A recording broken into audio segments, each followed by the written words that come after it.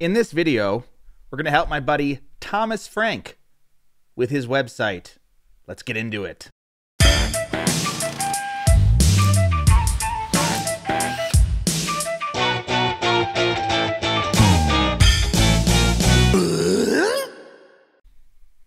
Hi, Thomas. How are you? You're Thomas Frank. I'm Matt Giovanisci.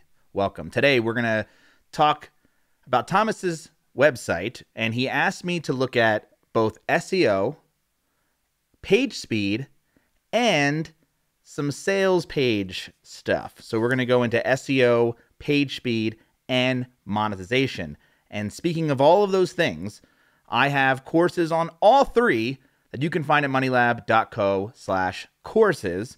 And if you use the promo code video, you can get 20% off. Yay. Okay, let's take a look at Thomas's website from an SEO perspective. So, I pulled up Thomas's website with Ahrefs, which is the tool that I use for SEO. If you want to get it, um, it is moneylab.co slash Ahrefs, and that's A H R E F S. Ahrefs. That is actually how you say that.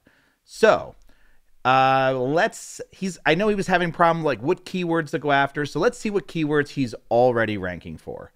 Um, if we go to organic keywords, I think most of what he's trying to go after is Notion based keywords. That that that plugin or that plugin that software. So obviously he's ranking for Thomas Frank. Uh, where do we where do we rank? Position number two, Thomas. I'm sure it's like YouTube or something. Uh, Notion API, that's number five. Best extensions, Chrome, Rich Mindset, Notion recurring test. So let me just read what you wrote here because you wrote uh, SEO is my top problem, and I don't know if I should target the same keywords both with template pages and tutorial pages or try to make them target different ones.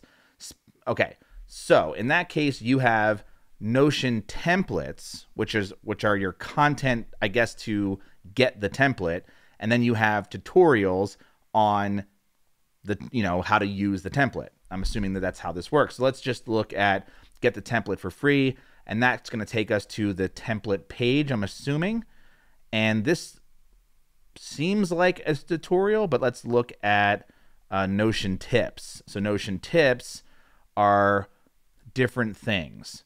So, okay, here's what I'm going to say. If it were me, I would I would be targeting the how to. Like I would be using the how to because the how to is the free information that's going to sell if that's what you, what you're doing your templates. So I believe that the that the that forget the template uh, pages, build out content that is going to help people use Notion because I think part of the problem, or at least part of like what I think would be the thing, is that you're Thomas, right? So you just have this site that's sort of like a personal brand, and you teach different things, but specifically you're trying to like sell things that have to do with Notion. And I'm assuming that a lot of people who like you, because again, I just want to point out if you don't know who Thomas is, Thomas is a huge YouTuber with over 2.3 million subscribers. And if you want to learn anything about anything, Thomas's channel is where you need to go. Please subscribe to Thomas's channel. So Thomas, huge YouTuber, people know who he is, and he's teaching how to use Notion. So I think a lot of people are coming to your website, but maybe they're not sold on Notion. Maybe they're using something else or nothing at all. And so nothing at all. Maybe you have to actually, uh, you know, sell them on Notion. So I think it should be tutorial first. And then I think you need to come up with a good way to bake in your templates into the content, which I'm sure you're doing. Um, so I'm not, so like, I wouldn't be conflicted with those two things. And I think because, like, if it were Money Lab in this case, yeah, I'm not necessarily trying to rank for any individual course that I sell or any individual resource that I sell. I'd much rather, unless they were completely different, and I was ne- and I was never going to do a, a, a tutorial for my template. So let's take an example. Um, I have a, I have a template like a spreadsheet template that I give away for free on how to use the whole profit first model with business. But I don't want to rank for profit first if that's we if that's my target keyword on the page where you just download the template. Yes, that's going to get me email subscribers, but I'd much rather kind of tell my story and show my work and then that leads into downloading the template. And so if I'm going to try to rank for profit first, then I'm going to go after it with a you know an email or sorry, a blog post that is a tutorial that I can beef up and really make great. In your case, I would look at something like ClearScope. ClearScope, I you know I don't have an affiliate with it. Um, there's different ones. There's also uh, I think Market Muse is another one. Rank IQ. Basically, these tools are using AI, and I know some people have asked me to do a tutorial on this, and I absolutely will. But basically, it allows you to like plug in your target keyword and make sure that you're competing in your page and in your, you know, with your um, tutorial text with the rest of the internet. And so that way you can rank for those things. So I think from a what to choose, choose tutorial, choose long form over just a template page. Um, but you might have an issue where uh, you are conflicting. And I will say this. So let's say like, okay, well, I already have a template page. It's up, it's on my website. And then I also have this tutorial. So they're kind of already both going after the same keyword. So what do you do in that case? I don't think you do anything. I think you just put more weight behind the tutorial and you leave it be. Now, I know that there's like some recent Google update that was basically like leveling the playing field so, as a creator, if you're like the Notion person, you're the only person who's ever talked about Notion besides Notion, right? You would, you know, you can see this in YouTube. YouTube, I don't think has this rule because I can see it with Swim University. But like, if you rank for a keyword, you can have like multiple posts rank for a keyword on the first, you know, in the first like three. So like, you know, I could dominate the SERPs in YouTube, but I believe in certain cases, you can't really do that in Google, right? So Google's going to favor one over the other, and they're going to give, you know, because I guess they're constantly testing see to see like where to click, uh, who's clicking, and and like which content is keeping people in track. So like, or keeping people like, people are getting what they want, the relevant information. That's what I'm trying to say. So you're only one's going to rank pick the one, put the weight on it, and don't worry about if you're targeting the same keyword for two different posts because it's okay. Perhaps you go after a cousin keyword, right? You go after something that's like a little more. So, like for the template page, maybe you go after a longer keyword that's like way more specific, in meaning that let's say somebody just wants to learn what's what's this one? How to create multi-column layouts in Notion, right? So let's say that that's like the, you know, create multi-column or multi-column layouts in Notion is probably a keyword. Okay? So that is what you're you're creating a how-to guide and in this how-to guide you're going to have a template for your multi-column layout, right? That's what you're that's kind of the deal here. And maybe this example isn't specifically that, but that's what you're doing. So, in this case, I would say multi-column layouts in Notion is your target big ass primary keyword. Go after it hard with this how to post. But maybe there's a secondary, you might not see this in Ahrefs because it might be so specific that there's no data for it. But it might be a multi column layout Notion template.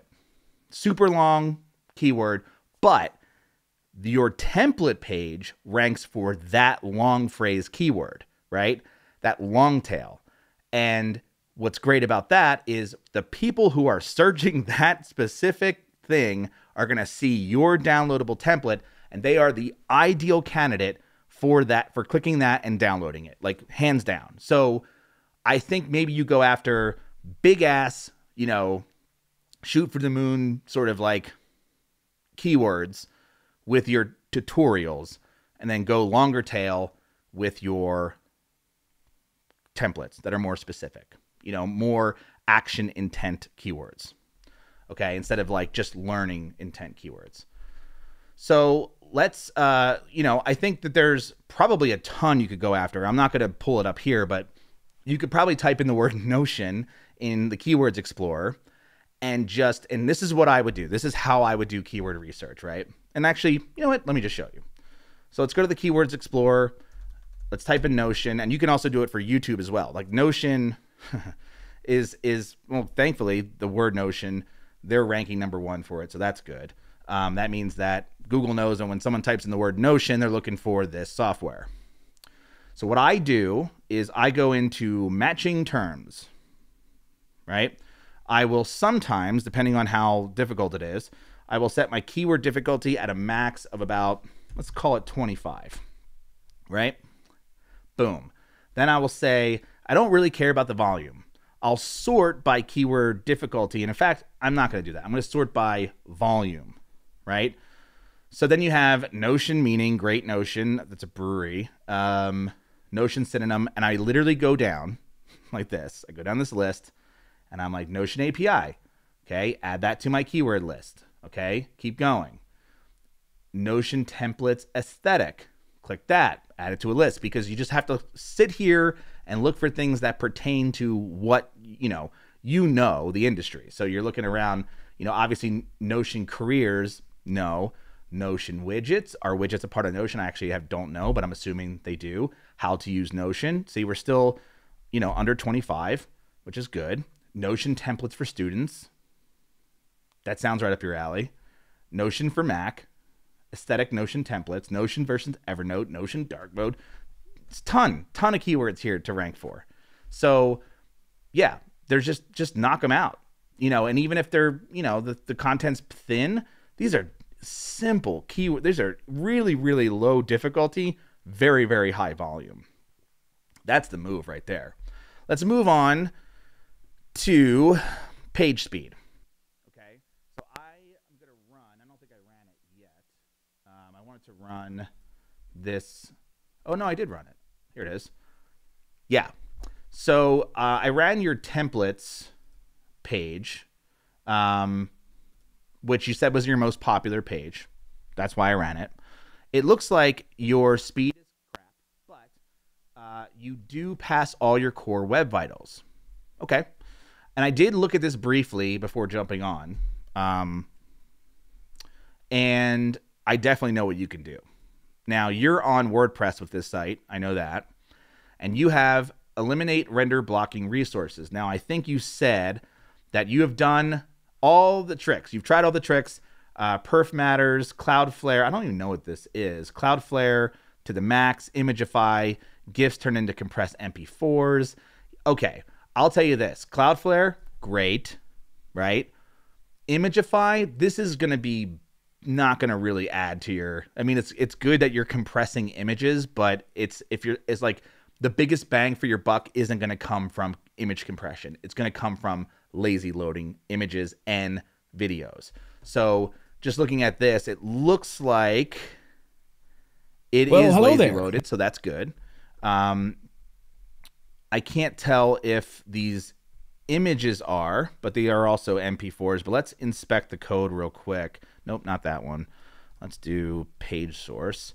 I just want to see if you are using all right, let's just search real quick. WP Rocket. Let's just type in Rocket.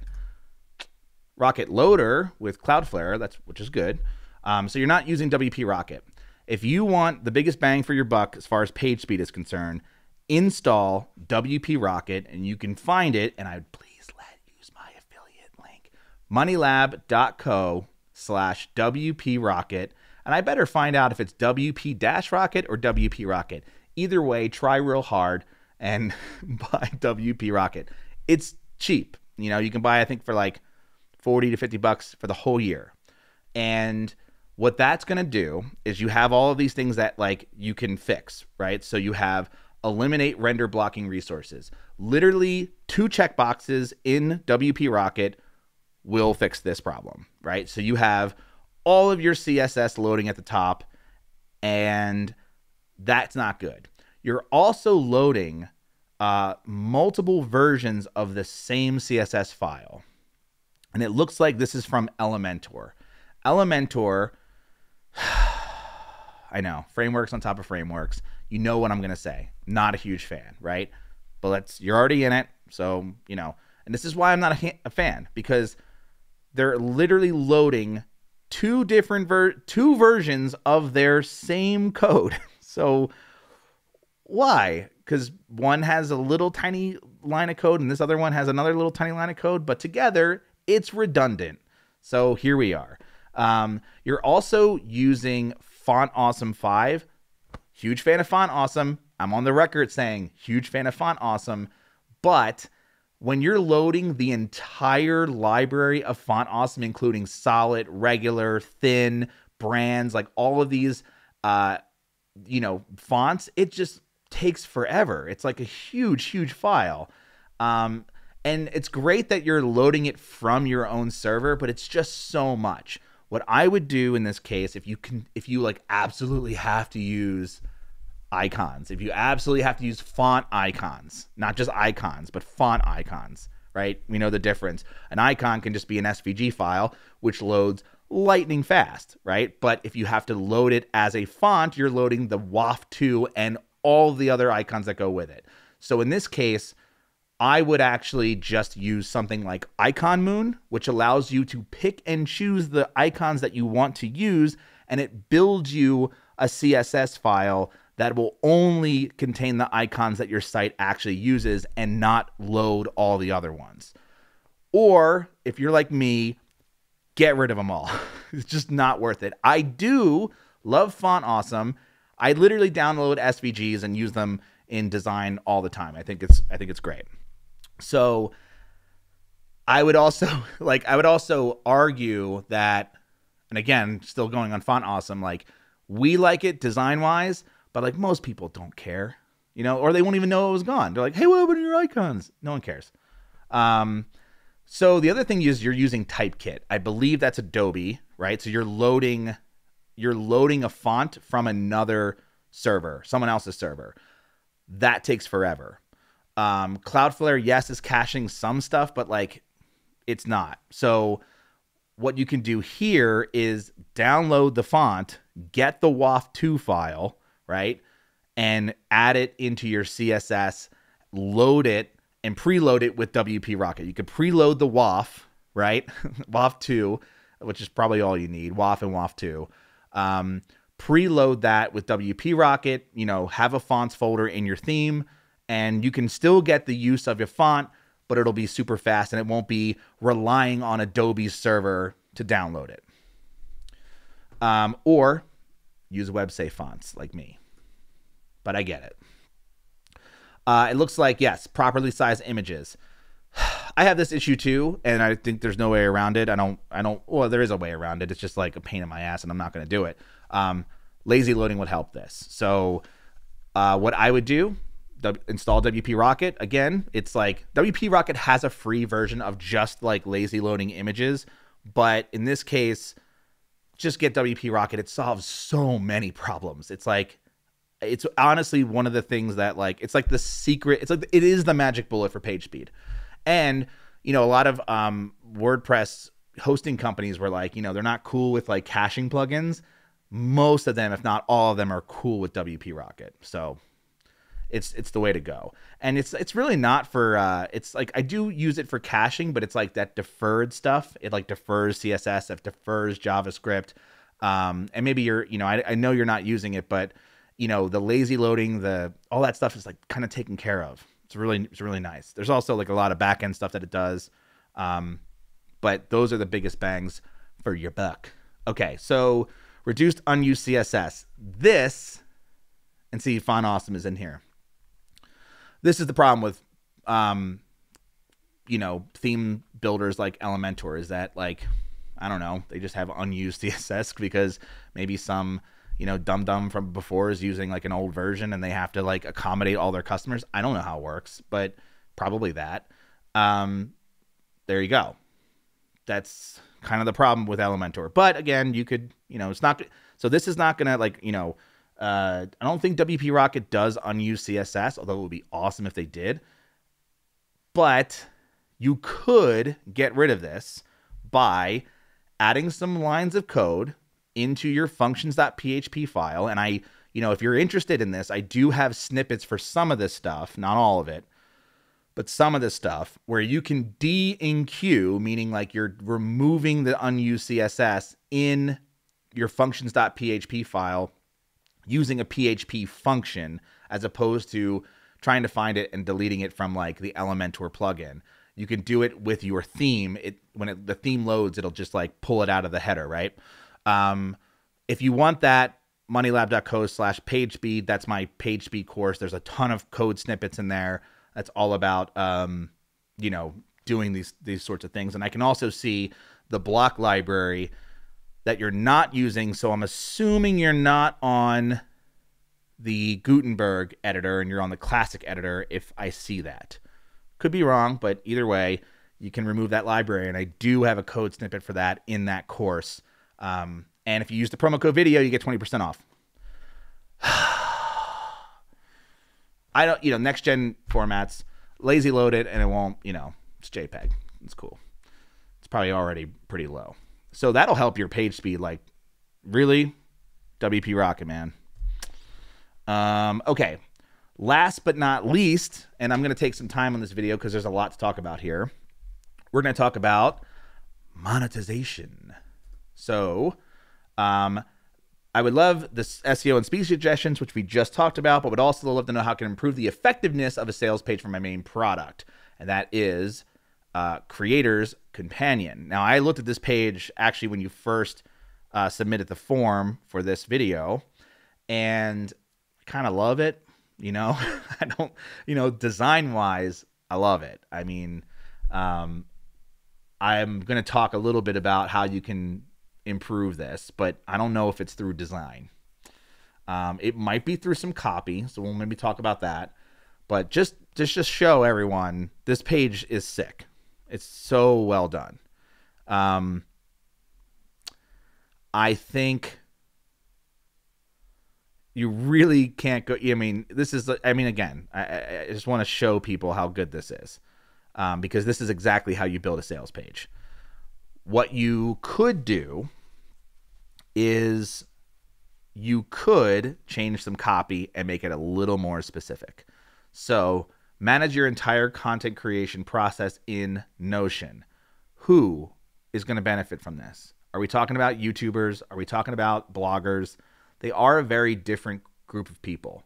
Um, and I see here it's YouTube videos, blog posts, podcast episodes, and more.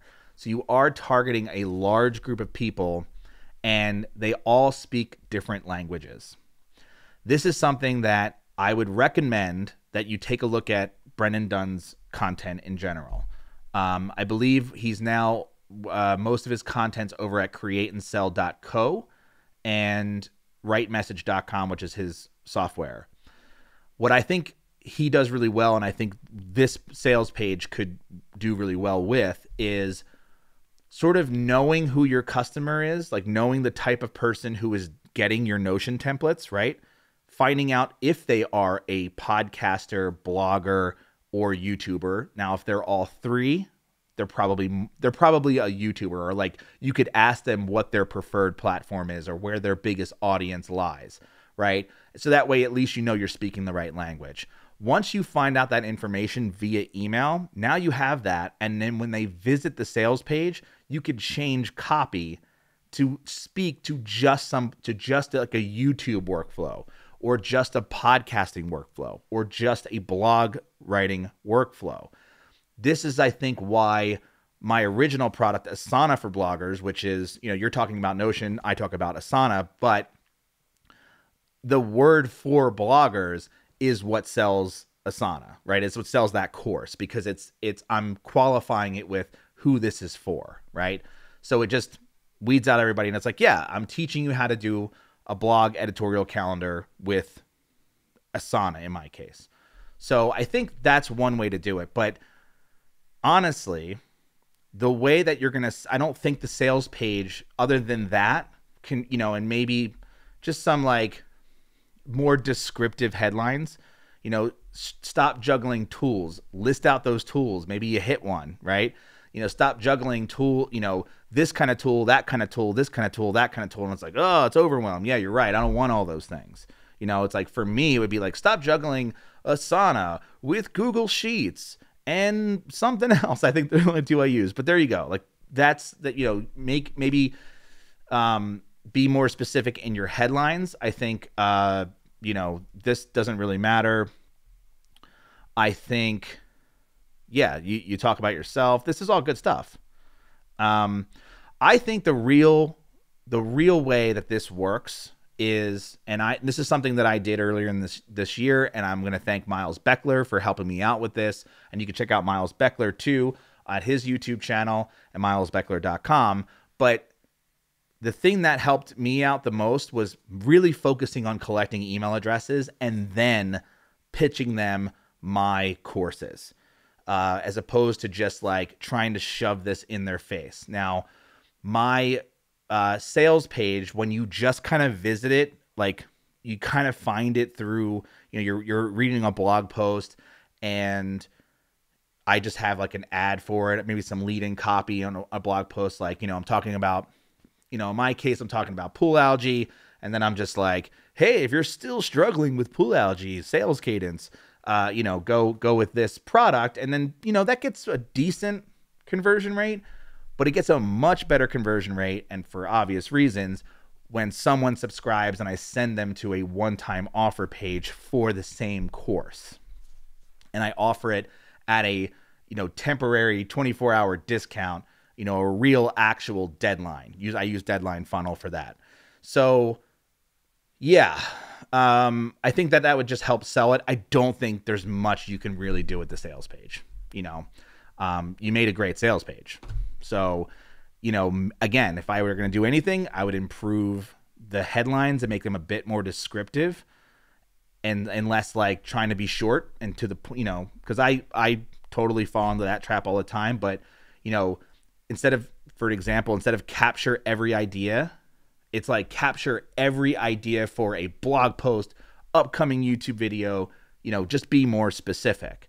Identify winning topics. You know, these are these are great, but they can just be a little bit more descriptive. I don't think that's gonna like. I don't think that that's gonna move the needle much. I mean, copy does move the needle a lot, but I think the real bang for your buck scenario is to focus on email collection first and foremost, and then send them to this page. Pitch this product over and over again in every single email. Every single helpful email you send out to your list could have a nice little soft pitch at the bottom.